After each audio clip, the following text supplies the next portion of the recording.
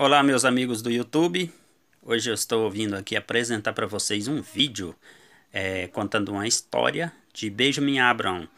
É, esse, a história que envolve duas personagens bem conhecidas do Nordeste brasileiro, uma é o Padre Cícero e outra Lampião, bem como também seu bando aí.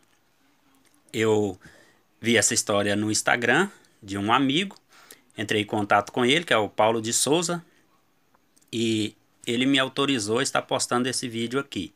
Então, é, eu quero pedir a você aí para estar dando uma olhadinha aqui na, no link da descrição. O primeiro link eu vou estar deixando do canal dele aqui no YouTube, que é o canal No Entanto. Então, você, primeiro link do canal do YouTube, segundo link eu vou estar deixando do Instagram, Paulo de Souza, para você estar aí visitando, dando uma força aí. E ele tem um canal é, digamos que até bem sucedido aqui. Ele faz um trabalho bom, um pouco polêmico, mas que vale a pena você estar conferindo aí, né? Você dá uma olhadinha lá. E no Instagram dele ele sempre está postando umas histórias interessantes, como essa que você vai ver agora. Então vale a pena conferir. E você que não é inscrito no nosso canal, é, se inscreva, ative o sininho aí para estar recebendo as notificações. E se você gostar do vídeo, não esqueça de deixar aquele like, né, para estar ajudando aí, comente também, né? E vamos lá, né, é, para esse vídeo aí. Eu achei uma história interessante, que muitos talvez não sabem. É, tem muitas histórias interessantes aí que às vezes nem passa pela nossa cabeça, mas vale a pena conferir. Então vamos conferir aí na narração de Paulo de Souza essa história maravilhosa. O homem que te seduz na fotografia é meu personagem predileto do cangaço brasileiro. Ele é conhecido por enganar anjos e demônios. Seu nome é Benjamin Abraão Boto. Benjamin Abraão Boto vai nascer no Líbano em 1890 e em 1915, fugindo de uma morte trágica quase certa, pois foi convocado para lutar na Primeira Guerra, ele sai de lá e vem para o Brasil. No Brasil, ele começa a trabalhar como mascate. Mascate é uma espécie de vendedor de tecidos e miudezas, assim chamadas na época. Como bom vendedor, ele percebe que há romeiros indo em direção a uma terra estranha conhecida por Juazeiro. Lá, ele logo identifica quem manda na, na cidade, que é o padre Cícero. Ele tenta se aproximar do padre com a sua estratégia incrível. Ele põe suas melhores roupas e com as suas melhores roupas se senta nos melhores lugares, até que numa certa missa o padre, cansado de ver aquele homem ali entre sertanejos, moribundos, maltrapilhos, né, trabalhadores rurais, um homem distinto, um homem bem arrumado, cabelo penteado, missa após missa após missa, o padre manda chamar. Quem é esse cara? Ele que certamente tinha prestado atenção na pregação do padre, não se apresenta como libanês. Se apresenta como judeu, diz que nasceu em Belém e diz que viveu em Nazaré.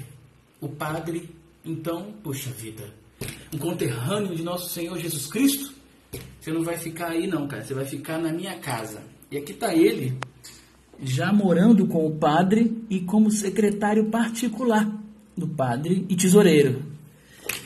Ele passa a roubar né, os donativos da igreja, o dinheiro, se veste muito bem, o sapato, o terno italiano, cabelo sempre bem cortadinho, barba bem feita. Né, ele vai se vestir sempre assim, cara. O padre morre em 1934.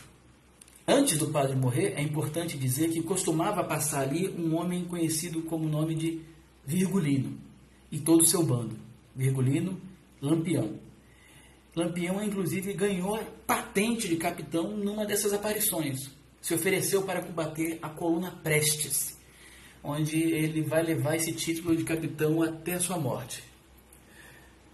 Na morte do padre Cícero, o Benjamin, nosso personagem, se vê órfão.